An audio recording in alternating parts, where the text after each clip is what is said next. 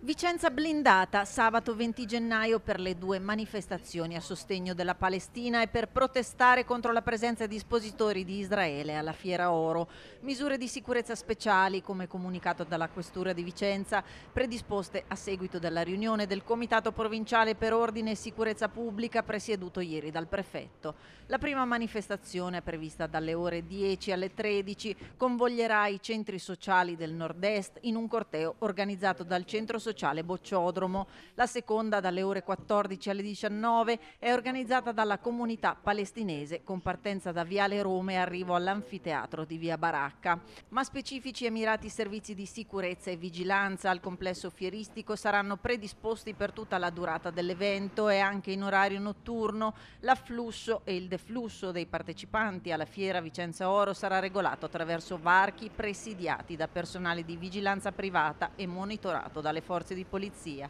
Chiaramente l'auspicio è che le manifestazioni si tengano tutte in maniera pacifica, ho detto chiaramente nei giorni scorsi che dal nostro punto di vista la città di Vicenza è accogliente con tutte le popolazioni e tutte le nazioni, quindi con gli espositori che arrivano da qualsiasi paese, compreso Israele, ho anche detto che è l'occasione per ribadire da Vicenza la richiesta eh, di un cessate il fuoco. Alto il livello di attenzione anche in base alle intenzioni dichiarate dai promotori del corteo che si svolgerà nella mattina di sabato, intenzioni diffuse sui vari social, quali arrivare alla fiera per bloccare il padiglione israeliano, in quanto considerato, si legge nella nota diffusa dal centro sociale Bocciodromo, a servizio dell'economia di guerra. Il questore ha disposto che il corteo non si avvicini al quartiere fieristico, partirà da Via Rossi per concludersi all'anfiteatro di Via Baracca. C'è più attenzione che preoccupazione, credo assolutamente che le forze dell'ordine e chi sta approntando tutti i meccanismi